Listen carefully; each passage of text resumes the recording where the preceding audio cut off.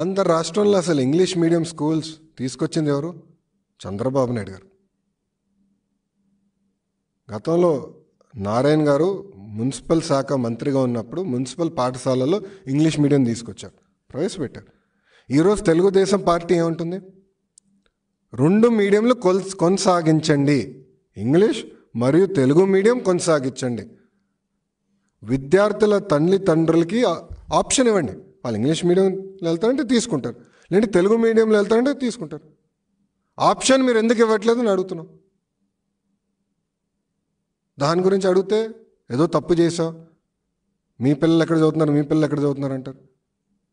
Yes ఈరోజు నేను English మీడియంలో చదివి తెలుగులో మాట్లాడడానికి ఇబ్బంది పడుతున్నా. నాలాగా ఎవరు ఇబ్బంది పడకూడదనే ఆలోచనతో మేము ఆప్షన్ ఇవ్వండి అని చెప్తున్నాం. అరే ఆప్షన్ మీరు ఎందుకు ఇవ్వలేకపోతున్నారు? ఎందుకంత కంగారు పడుతున్నారు? ఇప్పుడు తొంభై తొమ్మిది శాతం అంటున్నారే. అటుదే Sakshi paper Sakshi channel English పేపర్గా English ఛానల్గా మార్చుకుంటే అయిపోతుంది కదా ఎందుకు ఈ బాధ అంతా?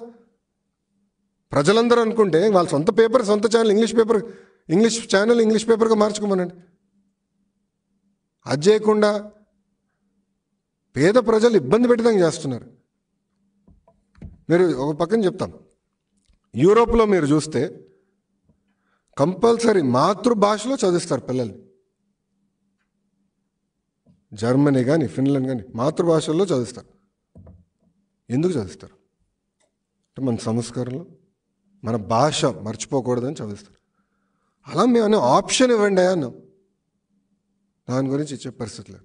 మాట్లాడితే కౌన్సిల్ని రద్దు చేస్తా అని చెప్పే పరిస్థితికి వచ్చారు.